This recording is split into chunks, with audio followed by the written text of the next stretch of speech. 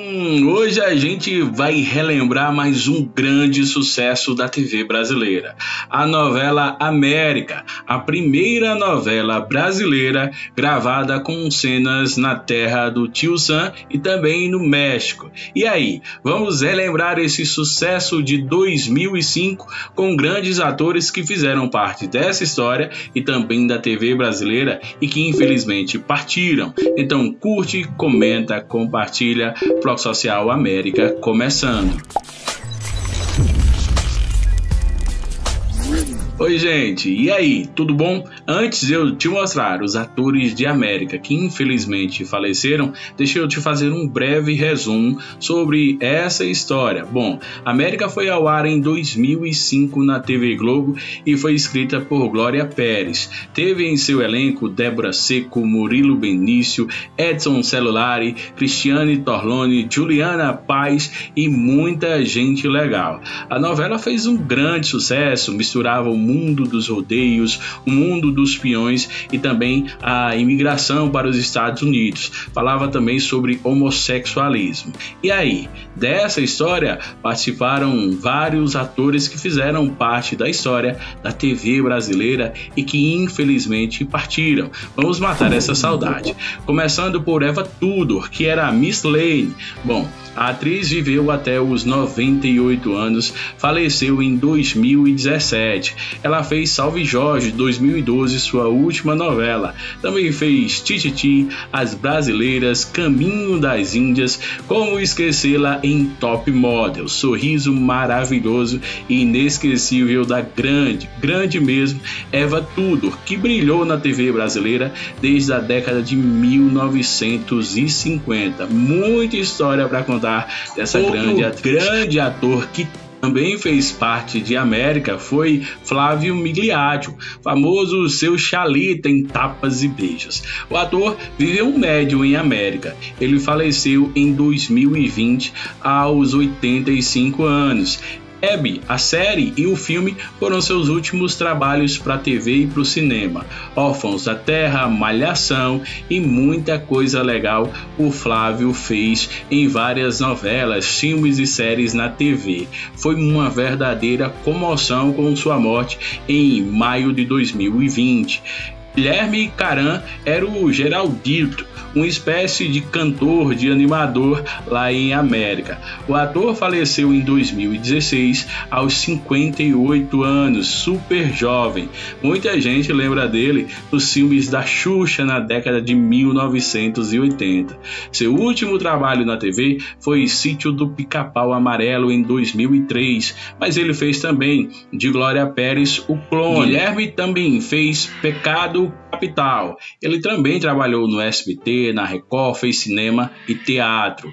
Lafayette Galvão viveu um padre, uma participação especial em América. O ator faleceu aos 87 anos em 2019. Malhação e D em 2009 foi seu último trabalho na TV.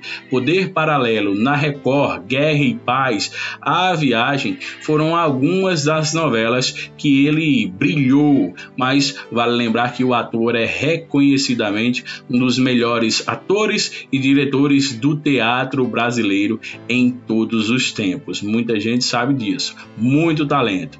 Lucy Mafra era a personagem Claudette em América. A atriz faleceu super jovem, 60 anos, em 2014. Hoje é dia de Maria de 2005, foi seu último trabalho na TV. Ela também fez Senhora do Destino, um grande sucesso das 21 horas da TV Globo, e também brilhou em Kubanacan, um grande sucesso das 18 horas. Que pena, 60 anos para mim é super jovem. E para você? Bom, tem mais, tem Mara Manzan, que era a Claudette em América, outra novela de Glória Pérez. Ela fez muito sucesso em um clone também da autora, onde ela dizia: cada mergulha um flash. A atriz faleceu para mim super jovem aos 57 anos em 2009. Caminho das Índias, seu último trabalho em 2009. Cobras e Largatos, Duas Caras, como eu disse, O Clone foram grandes novelas que Maramanzan, com esse super sorriso, emprestou tanta alegria para nós. Teve também Marli Bueno, que era a senhora Matos em América. A atriz trabalhou na Record, na Band, na Globo, no SBT, faleceu em 2012 aos 78 anos. Rei da Vida Record em 2009 foi sua última novela. Por lá ela também fez Poder Paralelo. Páginas da Vida foi seu último trabalho. Na Globo, ela também fez Linha Direta, era considerada uma grande grande dama da TV e do teatro brasileiro. Brilhou muito e vai deixar muita saudade. Tem também Nelson Xavier, o eterno Chico Xavier do cinema brasileiro, que em América era o Santiago. O ator faleceu em 2017 aos 75 anos. Babilônia foi seu último trabalho na TV em 2015. Ele também fez Joia Rara, a Favorita e, claro, o filme Chico Xavier, que é considerado uma das maiores bilheterias da história do Brasil. E por que não Nelson Xavier, um dos grandes atores desse país tão tupiniquim. Teve mais, teve Nildo Parente, que fez um médico em América, mas Nildo fez muito papel durante mais de 40 anos de história no teatro, no cinema, na TV. Ele faleceu aos 75 anos em 2011. A Lei e o Crime foi seu último trabalho em 2009 na TV. Ele também fez Luz do Sol, Paraíso Tropical, Amazônia, fez novela na Manchete e, claro, brilhou em várias novelas da TV Globo. Deixou saudade. América também teve um grande mestre da TV brasileira. Quanta saudade de Paulo Goulart, esposo da Anissete Bruno.